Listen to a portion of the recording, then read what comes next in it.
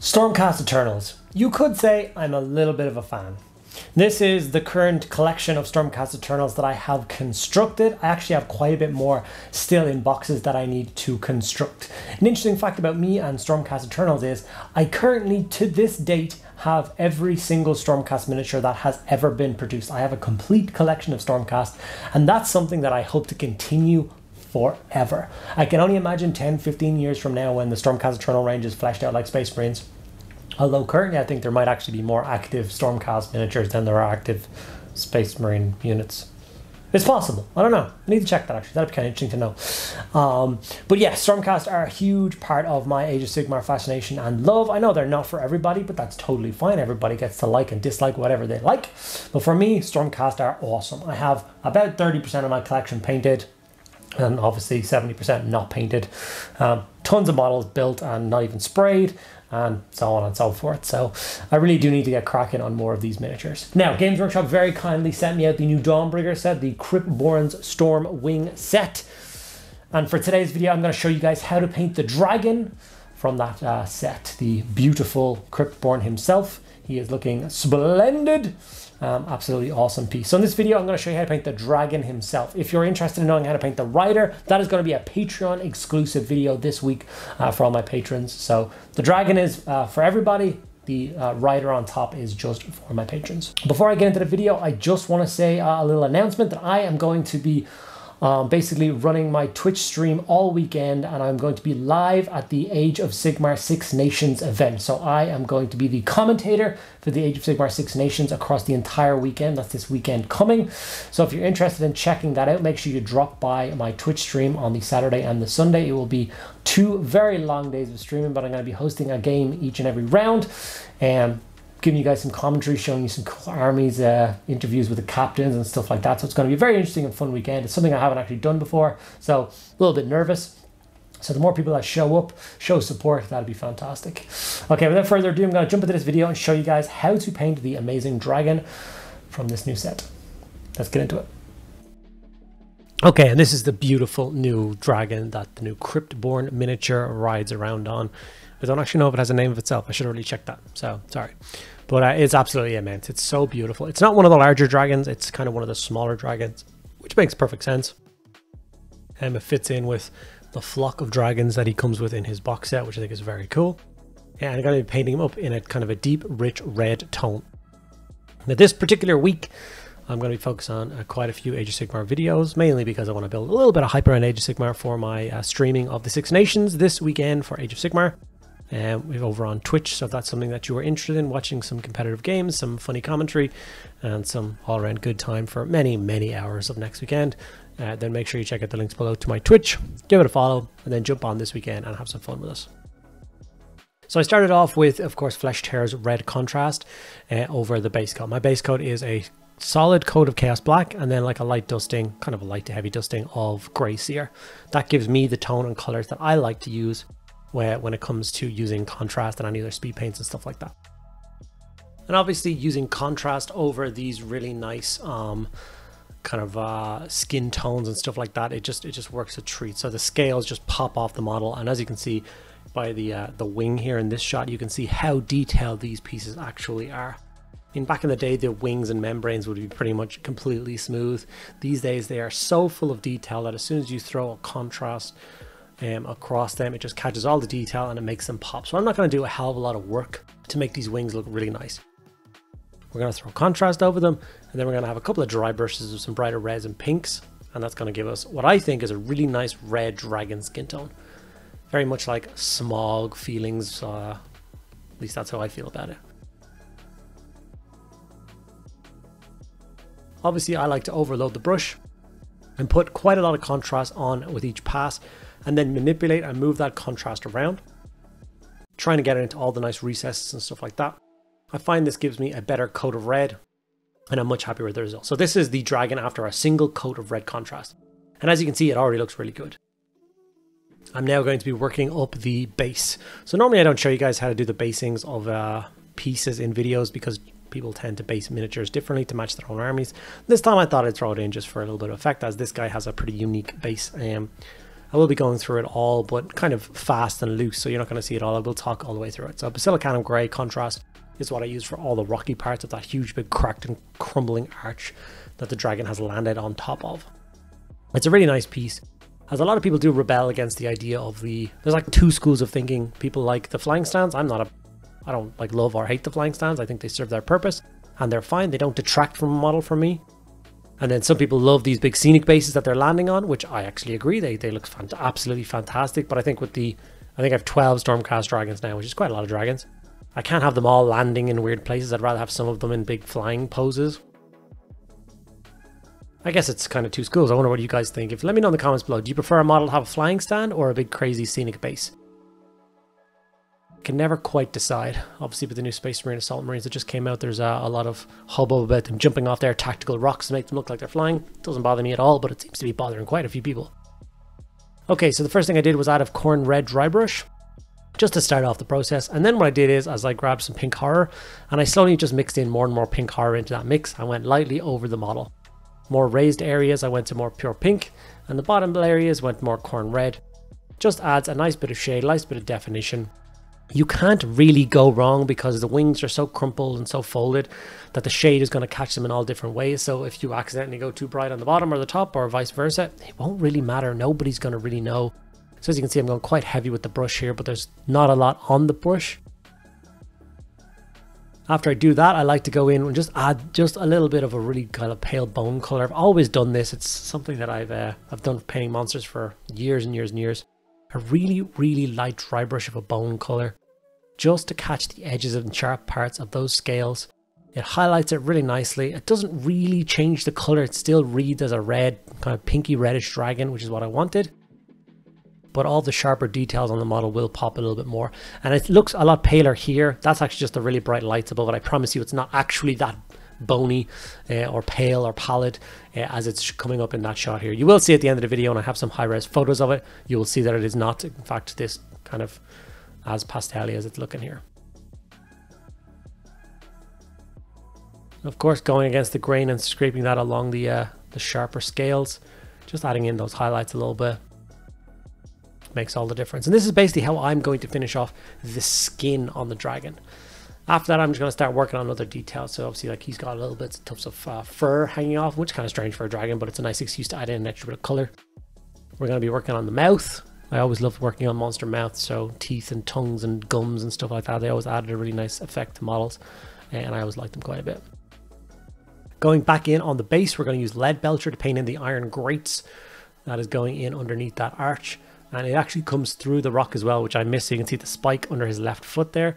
And then there's these like little like uh, bolts coming through. So I went back later on as I noticed that that's what they were. They're holding those iron grates in place and did them again in silver.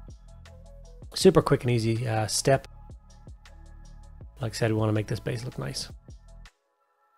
You can see the skin here in better effect. You can see it's not as pale as it looked before. Like shots like this make it look really pale.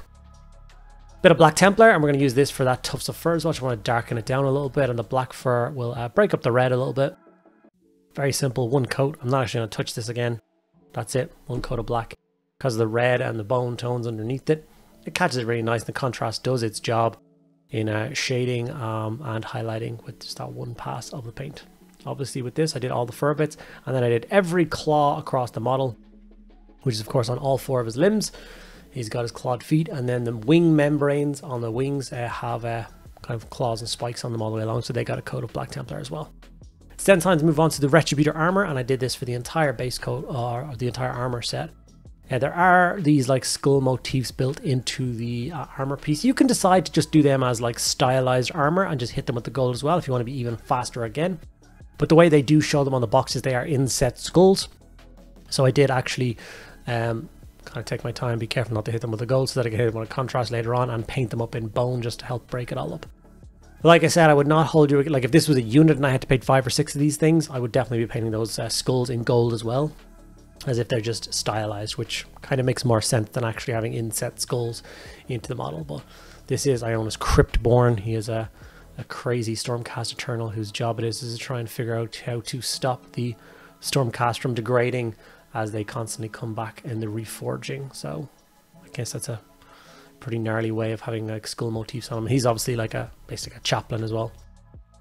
Cygor Brown was then brought in and we carefully painted this on all of the straps and bridling and all those bits and pieces that held the armor in place um, on this particular dragon. One of the cool things that I really like about Stormcast dragons is they tend not to have any reins.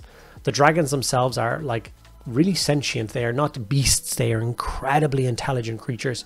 They can get reforged as well when they die. So people ever wondered that they're actually they are created by Sigmar as well. So once they die, they can be reforged. So they have no need to be reined in and controlled. They know where to go. They know where the rider wants to go and how to do it. And there's very much a, a symbiosis between the two. They trust each other.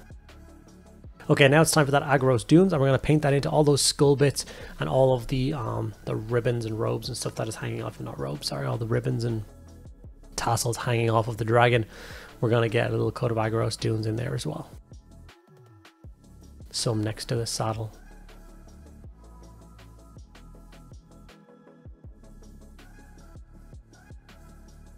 This is a quick and easy step. Like I said, it helps to break up the amount of gold on the model. Zandri Dust was then brought in and I highlighted or base coated in all the teeth. And you'll notice that I did do a Volupus pink stage and I painted the inside of the mouth Volupus pink um, and the the seat and back of the seat uh, on his saddle. It did that with the Volupus pink as well. Then after that we did Zandri Dust as a base coat for all the teeth. Quick and easy stage, getting those sharp gnashers uh, base coated in. It really just bring a dragon or any monster to life. I, I think that's why I enjoy painting the mouths so much on all my beasts is the model kind of just look like one solid, you know, red and gold. Can't really tell what it's like where it's going. Then once you see that mouth, it, it kind of pulls everything together. Reikland Fleshshade was then brought in, and we use this on all the parts that aren't the red skin. We're going to base coat it with Reikland Fleshshade. Once again, it's another quick and easy step. It's going to add a real rich and warmth to the gold, to the skulls, to the parchment, to all the inside of the mouth, teeth, gums, tongue, all that as well is going to get done. Now what I didn't show here is I actually grabbed some Agrax Earthshade as well, and I base coated in the um, the stonework on the base as well. So this is what I meant by I'm going to finish the base, but I'm not going to show you too much about it. So all I did was grab kind of a medium shade grey and dry brush all the stone bits. Then I grabbed a brighter grey, dry brush all the stone bits again, but just a little bit lighter. Nothing crazy. After that, we jumped over to a Leadbelcher and we dry brushed all of the metallic grading. Once again, another extremely quick step. All I want to do is add a little bit of shine back into the grading. We'll grab some Ryza Rust to go over the brown texture paste that I put on. This is Dark Earth from AK Interactive, is what I like to use for my texture paste. Uh, Ryza Rust dry brushed all over that. Once again, super quick and effective. Doesn't take a lot to do it, it adds a nice bit of warmth and richness to the base. After that we go in with a much lighter dry brush of any bone or kind of tan color. To add the final highlight into the ground and I also usually dry brush up kind of the lower parts of the stone with this as well to help blend those two parts together. This bit is always hard to film, big models are always hard to film because the camera just wants to focus on the closest bit. Okay, after that I also rimmed the base black and with the base finished and the model all shaded, it's looking almost finished. So we don't have a lot much to do or a lot left to do um, to finish him off. I think he looks fantastic as he is. I really like how that pinky red skin tone came out. It's one of the things about my Stormcast dragons, I quite like them all to be different skin tones, so I don't want this uniform look across all the dragons. I want them all to be quite different. Okay, so we're to go in now and just finish off the last of the details. So we're to go with Leadbelcher first. And we're just to add a few uh, highlights to the gold and metallic parts on the model. So with the gold, as you can see, it's just a few kind of stabby highlights. We're not to go crazy. I would dry brush it if I could, but I do not want to hit any of the gold or any of the red dragon skin. So some kind of like small scratchy highlights, like I said, a little bit of overbrushing. If you can get it there without hitting the red, that's fine as well will add a really nice effect. Obviously this is kind of like a tarnished gold. Even though these Stormcast Eternals may seem old, these dragons can still be quite ancient. And the gold armor as well can be quite old, so we want that to kind of match in with the aesthetic of the guys. Screaming Skull was then brought in and we highlighted up all of the bone parts. So we started with the teeth.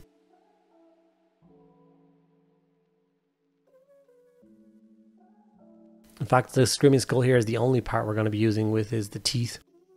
All the other bones we're going to have to work up with a little bit of Zandri dust first, and then we're going to go in with some screaming skull as a kind of secondary highlight. It just makes things a little bit easier.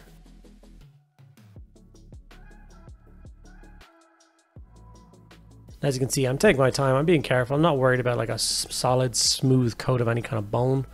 And we're just a nice light dry brush will do the job. With that done, you can use like a lighter pink to highlight tongue and stuff if you want. But other than that, I call this finished. You may notice I did not highlight the seat or the back of the saddle because the, the character who rides it will be covering all that up as well. So there's absolutely no point. I add a little bit of blue paint in for his eyes and that's it. I am super pleased with another finished Stormcast dragon. I think that's only three or four of my dragons painted so far. Here is the rider himself. I've painted him up as well, but he is going to be a Patreon exclusive video, like I said. But as you can see, when you combine the two parts together, you do get this finished, beautiful dragon rider. Ionus Cryptborn on his beautiful Drake. I'm sure he'll be leading a Stormcast Eternal army of mine in the near future. I've always been interested in trying to do an entire dragon force, and I think now is probably the time to do it with the amount of dragons that I have. Here's a couple of still images of the awesome model himself, done up looking well. Like I said, I'm quite pleased with the result. If you guys want to see more Age of Sigmar content, please make sure that you like this video so I can see that it's getting enough support. And let me know in the comments below what kind of uh, videos you would like to see for Age of Sigmar moving forward. I obviously have the Sylvaneth kind of new Beetle Dude to do, and I've got a lot of Cities of Sigmar to do, so just let me know what you want to see, and hopefully I can provide that for you. Okay guys, and there we have it. There's the video on how to paint up the dragon. I showed you guys at the end what he's going to look like with the rider on top. Now, like I said at the beginning of this video, if you're interested in knowing how to paint the rider, you can check down in the description below and get involved with my Patreon, and then you can check out that video as well. Thank you so much for watching. I hope you enjoyed this video. If you did, make sure you give it a like. Ask me any questions you want in the comments below. Make sure you subscribe, and if you're interested in following along with the Six Nations coverage this weekend, it'll be over on my Twitch, which is also linked down below. Saturday and Sunday, pretty much all day Irish time. So it's going to be a good old time. If you're an Age Sigmar fan, make sure you check it out. All right, guys, thank you so much for watching. I'll see you in the next video.